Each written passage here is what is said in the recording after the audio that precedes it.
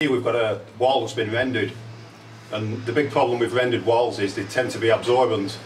So this wall, when it rains, gets very wet and then when it gets wet the moisture tends to stay in the wall. So when it freezes there's a good chance it's going to start cracking all over the place. So what we're going to do is we're going to paint it but before you paint render you need to seal it first with an appropriate sealer.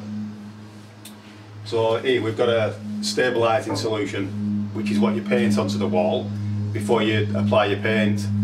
So we're going to apply this today and then tomorrow we're going to actually paint the wall.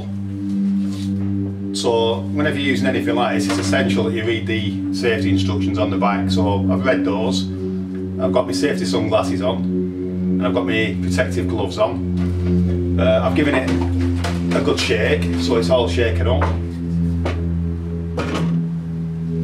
And then I've emptied a reasonable amount of it into a paint kettle. And I've got a decent sized brush. So now I can actually start to stabilise this wall and then when it's dry tomorrow we shall be able to paint straight onto it. So if you use a larger size brush, which is a, a 4 inch one as this, it'll make it a lot easier and you'll get the area covered a lot quicker. One thing you can't do with uh, stabilising solution is spray it on. You've either got to paint it on with a brush or paint it on with a roller.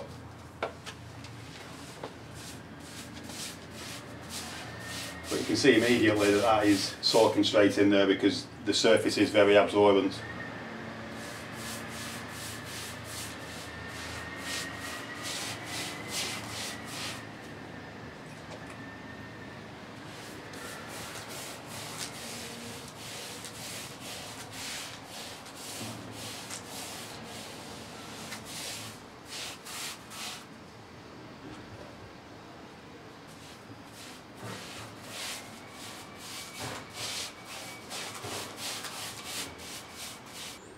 So we stabilised the wall yesterday with a stabilising solution and today we're going to paint it using the masonry paint.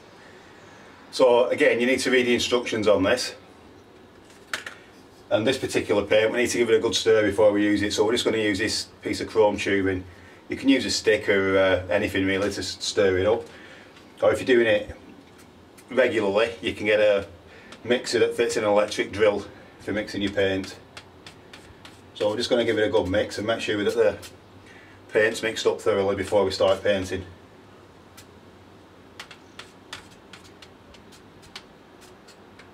We're also using a 4 inch brush on this wall.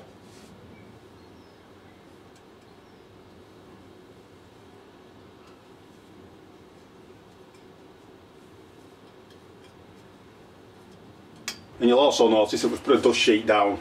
That's to stop any paint spills from going on the actual floor itself it's always a good idea to put something like this down when you're painting a wall.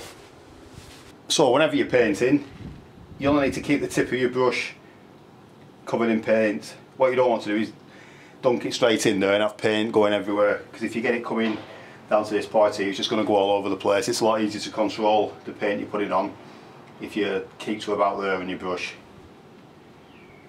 So I'm just going to dip it in there and then clean off any excess on the side. So that should then make it easier for when you cut it in on edges like that where you need to go up to something.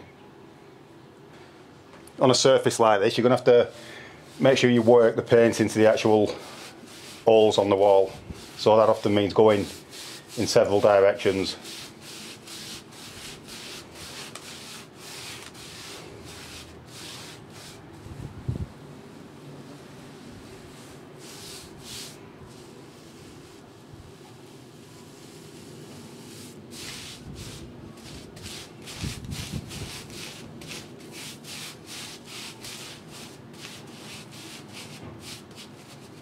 So when you come to a point where you need to cut in, if you just use the side of the brush and just drag it like that, you should get a, a neatish edge.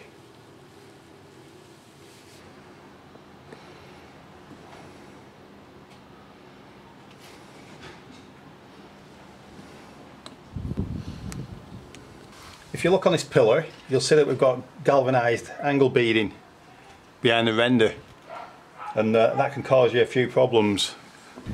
If you look a bit lower down this angle bead, you'll see that it started to go rusty there. And that is a, a very common problem. So we need to address that before we paint over it with the masonry paint. So what we're going to do is we're going to get a wire brush and we're just going to clean off a little bit of the rust. And then we're going to apply some Zinsser Bullseye 123 which is an external sealer. So once you've painted this onto that bead it will seal it and it'll prevent any rust from bleeding through. And it'll also make it waterproof so that no water can actually penetrate through and get through to the angle bead again. But like all paint you need to read the instructions first. So now we're just going to get a, a paintbrush and we're just going to paint down the corner now just to seal it and prevent any future problems from occurring